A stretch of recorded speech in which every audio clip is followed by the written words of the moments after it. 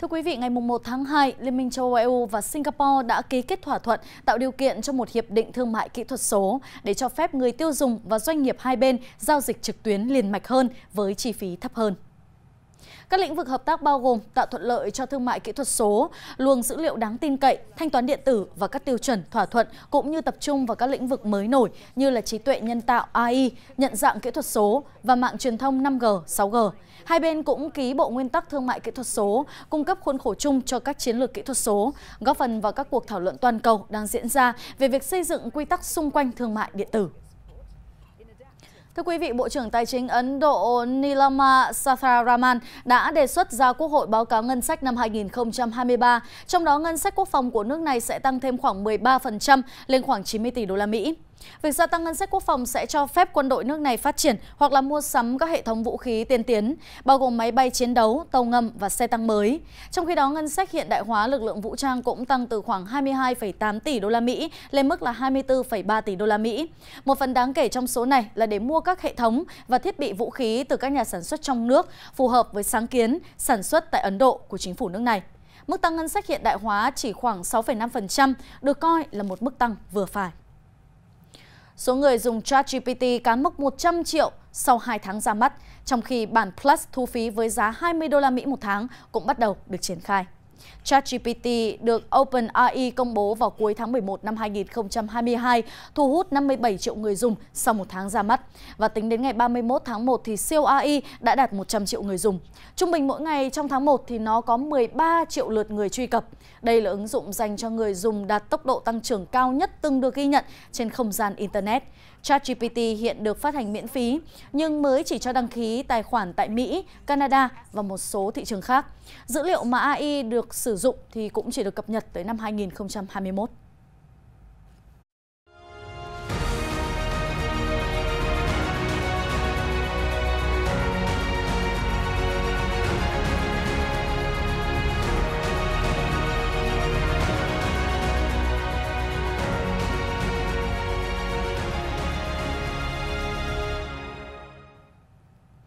Châu Âu đang vượt qua cuộc khủng hoảng năng lượng năm nay, nhưng các doanh nghiệp và hộ gia đình thì vẫn đang nghĩ cách để đối mặt với mùa đông tiếp theo. Thời tiết ấm áp hơn, chính sách trợ giá của chính phủ, các kho chứa khí đốt hoạt động hết công suất cùng năng lượng nhập khẩu từ các nước khác đã giúp châu Âu vượt qua được mùa đông năm nay khá nhẹ nhàng, hạn chế thiệt hại kinh tế từ hậu quả của xung đột Nga-Ukraine. Những cơn mưa lạnh lẽo mùa đông không gây khó khăn cho ông Felipe trong việc cắt củi trong khu rừng Santa Bea ở Bỉ. Củi được khai thác ở khu rừng này được bán trợ giá để người dân mua và trữ đầy kho củi gia đình. Có tới trên 1.000 hộ gia đình được hưởng lợi từ củi sửa giá rẻ ở đây. Điều này rất ý nghĩa với người dân khi giá khí đốt và điện dao động thất thường trong mùa đông này.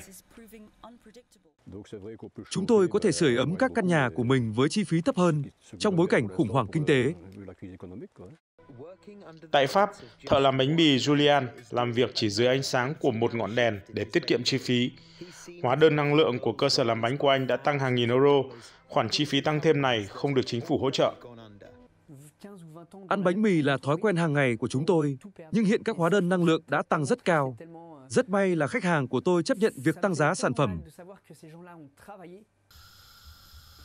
Trong khi đó, tại Đức, quốc gia phụ thuộc nhiều vào khí đốt Nga trước xung đột, đã tung ra khoản trợ cấp khổng lồ cho người dân, cố gắng lấp đầy các kho dự trữ và tìm kiếm nguồn cung cấp năng lượng mới khi Moscow cắt khí đốt.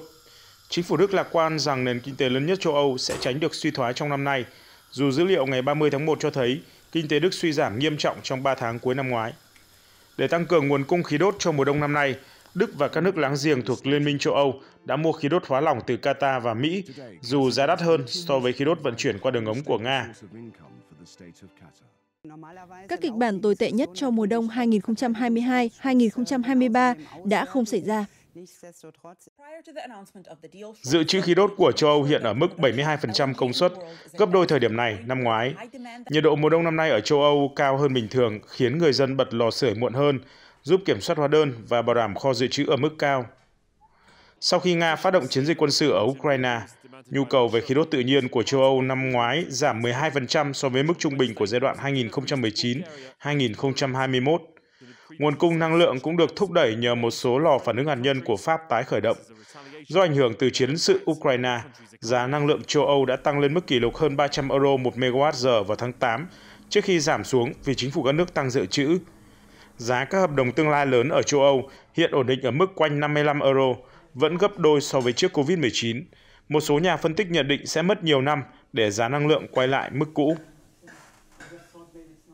Mọi con mắt đang dồn về mùa đông 2023 đến 2024. Châu Âu sẽ phụ thuộc nhiều hơn vào khí hóa lỏng trong năm 2023, khi lượng khí đốt nhập từ Nga trong quý 1 năm nay rất thấp. Nếu nhu cầu của châu Á tăng trở lại, cuộc cạnh tranh nguồn cung khí hóa lỏng giữa châu Âu và châu Á sẽ gay gắt hơn.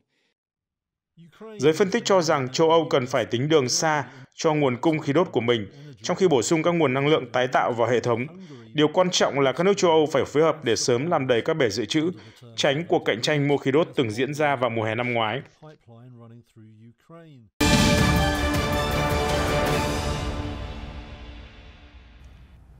Thưa quý vị, biến thể phụ mới của Omicron là Othras với tên khoa học là CH.1.1 đã được phát hiện tại 67 quốc gia. Giới chức Trung Quốc, Mỹ và Anh cảnh báo đây có thể trở thành biến thể lây nhiễm chiếm ưu thế sau 3 năm Covid-19. Và thông tin chi tiết sẽ có trong phần tin vắn quốc tế ngay sau đây. Biến thể phụ mới của Omicron là Otrus với tên gọi khoa học là CH.1.1 đã được phát hiện tại 67 quốc gia. Giới chức Trung Quốc, Mỹ, Anh cảnh báo đây có thể trở thành biến thể lây nhiễm chiếm ưu thế sau 3 năm COVID-19. Giới chức y tế Trung Quốc cảnh báo biến thể phụ mới có khả năng vượt qua ngay cả những phản ứng miễn dịch do vaccine tạo ra. Các nhà nghiên cứu thuộc Đại học bang Ohio của Mỹ cũng cảnh báo khả năng trốn tránh kháng thể của Otrus là phi thường.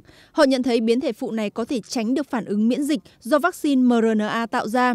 Tuy nhiên, các chuyên gia cho rằng biến thể mới này sẽ không gây ra một đợt bùng phát lớn trong thời gian ngắn tới đây. Chính phủ Hàn Quốc vừa công bố khoản trợ cấp nhiên liệu để sửa ấm trong mùa đông cho nhóm đối tượng yếu thế lên khoảng 300 tỷ won, tức 246 triệu đô la. Theo đó, những người đang được hưởng trợ cấp sinh hoạt cơ bản và hộ cận nghèo sẽ được giảm tiền ga tối đa 592.000 won. Sẽ có khoảng 961.000 hộ gia đình được hưởng lợi từ đợt hỗ trợ bổ sung này. Đợt hỗ trợ lần này sẽ được áp dụng theo phương thức giảm giá tiền ga đô thị trong vòng 4 tháng, từ tháng 12 năm 2022 tới tháng 3 năm nay, song không bao gồm các hộ sử dụng hệ thống sửa ấm chung toàn khu vực. Hãng vận chuyển hàng đầu thế giới của Mỹ, FedEx, đã thông báo sẽ tiến hành đợt cắt giảm hơn 10% nhân viên quản lý trên toàn cầu nhằm tái cơ cấu và cắt giảm chi phí. Trong thông báo gửi cho nhân viên vào hôm thứ Tư tuần này theo giờ địa phương, Giám đốc điều hành của FedEx cho biết tập đoàn với hơn 550.000 nhân viên trên toàn cầu này đang hợp nhất một số nhóm và bộ phận chức năng để hoạt động hiệu quả hơn trước nhu cầu vận chuyển sụt giảm. Như vậy, tiếp sau Microsoft, FedEx chính là tập đoàn lớn mới nhất của Mỹ công bố kế hoạch cắt giảm nhân công. Thông tin vừa rồi cũng đã kết thúc Thế giới chuyển động ngày hôm nay.